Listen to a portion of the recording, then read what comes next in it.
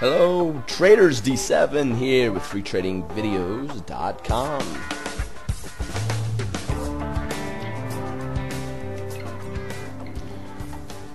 I had somebody ask about doing a update on the SPX and what's going on in the markets, and as you know, crazy day today. And this is a follow-up from a couple videos I've been doing. Uh, nice symmetrical triangle, a breakdown, do doji, which looks to be a continuation doji. We head down, we get a hammer. And um, look at this, we get these hammers down here. I want to pay special attention. Well, first, what is a hammer?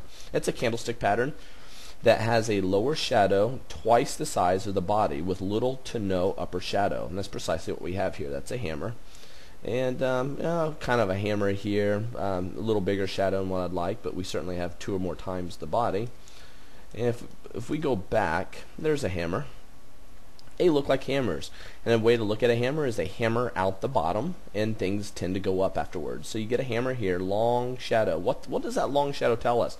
It tells us the bears yanked it down, they pulled it down, they pulled it down, they pulled it down, but they couldn't keep it down the Bulls come rushing in, they yank it right back up, showing weakness on the Bears, showing power to the Bulls, and then you get a run up. See this lower shadow? A run up. Lower shadow, a run up. Look at these lower shadows here. Run up. Lower shadow, run up. Lower shadows, run up. Lower shadow, run up. Lower shadows, Draw your own conclusion here. What do you think is going to happen? I think that there's a good possibility that we'll be going up here. So um, anyway, just keep an eye on it. We could get a gap down and a, a quick reversal to the upside. Pre-market, if you look at the S&P, or I'm sorry, the NASDAQ, it's it's prone to doing that. Big gap down and a run up, you know, when it finds a bottom somewhere. How long will it last? Maybe one day, maybe two hitting its head on the 20-day moving average, or we may not move up yet.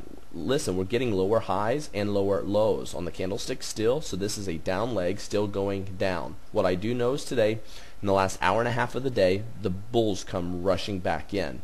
So do I expect an update tomorrow? The answer is yes, I do expect it. But do I have long positions going? No. I day traded today. I day traded short. I did not catch the last hour. I did not go bullish and catch the upride.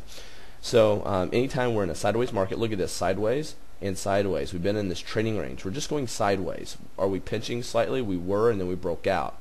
But this is called a trading range. We're at the bottom of the trading range. What's interesting is we're below 1326. I thought if we cracked 1330, we'd head down to 13 pretty fast. I thought we were seeing that today. We come, you know, just racing back to the um, the upside.